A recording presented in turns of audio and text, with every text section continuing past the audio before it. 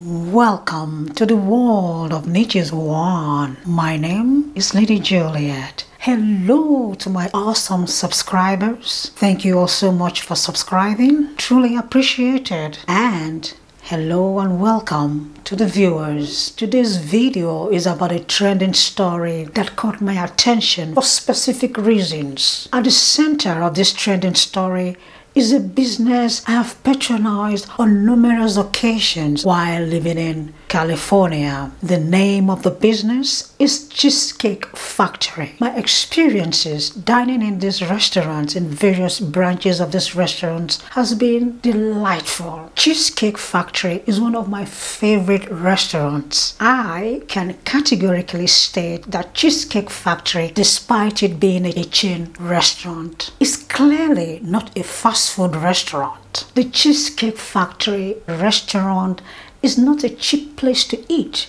by any stretch of the imagination. A quick disclaimer here I have not been paid by the management of Cheesecake Factory or the owners. I am not promoting Cheesecake Factory on this platform or any platform. I simply love to eat in this restaurant. Now, with that out of the way, on to the story. I would like to delve into this trending story by telling you the story, sharing a clip of the story, then, in conclusion, share my thoughts. A man met a woman in a bar and was attracted to her. He didn't hesitate to let her know. After this initial meeting in the bar, they kept in touch. One day, they arranged their very first date. The gentleman arrived promptly at 4 o'clock as agreed. The woman, on the other hand, arrived one hour late for her date. She kept her date waiting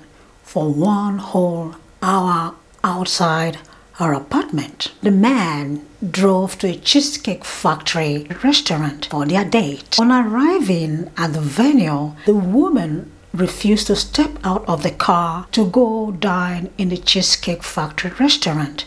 Instead, she pulled out her phone, went live to broadcast to her fans and viewers that her date took her to a cheesecake factory restaurant and that she was just too good to eat in a cheesecake factory restaurant.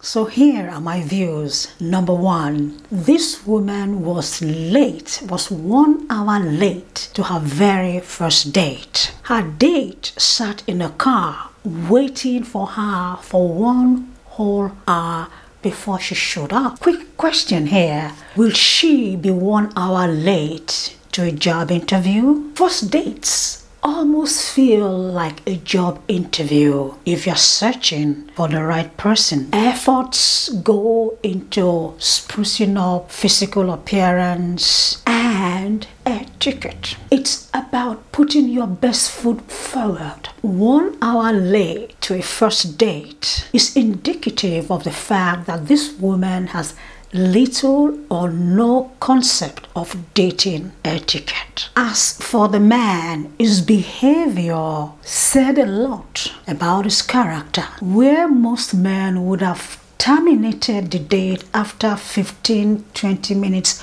wait time, he waited a whole hour, indicative of a patient disposition. Two, R E S P E C T. Where is the respect for self and respect for her date in this whole story? I couldn't find any, none at all. For the most part of that short video clip you just watched, this woman made very little eye contact with her date. She was more focused on her camera and the live broadcast. Dating is meant to be a personal matter. Some things are meant to be kept private and exclusive. There's nothing romantic about sharing your dating experience live for the whole world to see. What really was the point of our live broadcast? Immature move that sought to embarrass and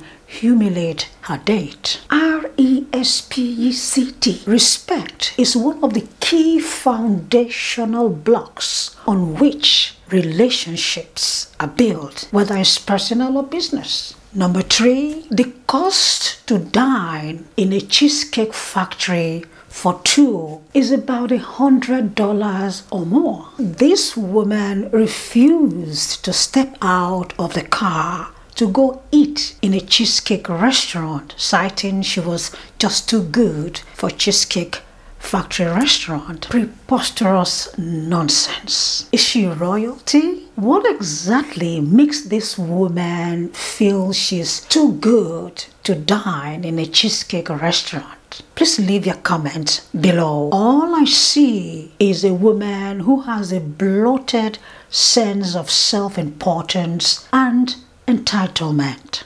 Number four, throughout the whole drama, when this woman refused to step out of the car and all that nonsensical rant about too good to eat in a cheesecake factory, this gentleman kept his cool where most men would have ordered her out of their car and leave her on the curb. Number five, my final thought on this trending story. This man was truly looking for romance. He was looking for love. Rather unfortunately, he got attracted to the wrong woman. He dodged a bullet. I pray the good Lord would lead him to the right woman. She's out there somewhere. All he has to do is keep looking. This woman was clearly not looking for love, not on this date. She was in it for free food and content for her social media channel. This woman appears to be living her life for social media likes and views. This begs the question Will social media likes and views meet her emotional needs. She's not exactly spring chicken. Will social media likes and views keep her warm on cold nights? Miss I'm too good for Cheesecake Factory restaurant needs to make an important decision about what's truly important in her life. Let's meet in the comment section and continue the discussion on this trending story. Please don't forget to subscribe to the channel if you haven't. Help me grow this channel organically. Best wishes always. Bye for now.